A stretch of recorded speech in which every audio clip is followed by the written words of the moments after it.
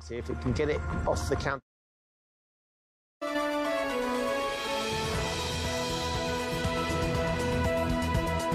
Kia ora, good afternoon. We're interrupting normal programming to bring you some breaking news. White Island volcano is right now erupting, and we understand at least 20 people are injured. A triage is being set up on the island.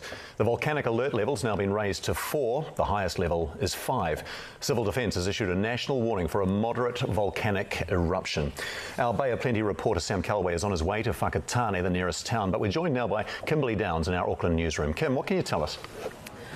Thanks, um, uh, thanks, Simon. Rather, well, not long ago now, we do know that the White Island volcano has erupted. As you mentioned, St John's have now confirmed that up to 20 people are requiring medical assistance. St John's, the Coast Guard, DHBs are responding to that, as as well as five choppers that have been sent, including two from Auckland, from Westpac Rescue Helicopter. Now, Civil Defence is saying that this is a moderate volcanic eruption uh, and it is hazardous in the immediate vicinity some of the advice that they are giving people includes um, to be aware of the potential for ashfall, to consider staying indoors. They say volcanic ash could, of course, be a health hazard, especially if you suffer from breathing difficulties. They also, also say, when indoors, to close all the windows and doors to limit the entry of volcanic ash. Uh, if there is volcanic ashfall around, they can wear a dust mask and also to listen, of course, to the radio or our TV broadcast for further assessments and updates. Uh, this is very much a developing situation. As you mentioned, our reporter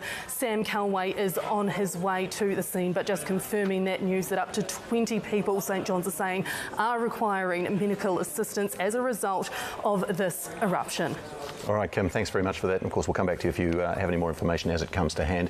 One News has also spoken to a witness on a boat about 40 kilometres from the volcano who described the eruption like an explosion from hell. And we're hoping to have that for you in just a short amount of time. We're going to, uh, of course, Whakaari White Island is one of the most continuously active volcanoes in the country. It's been erupting for 150,000 years at various stages, and there have, uh, it has reformed as a matter of interest over the last 30 or 40 years. Major volcanic activity in the 80s and then earlier on in this century have seen it change its shape and its crater lake.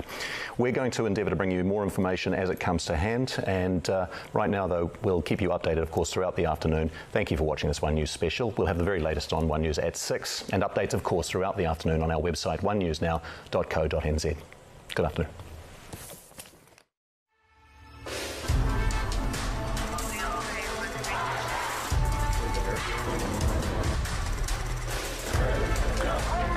The people here are just so welcoming.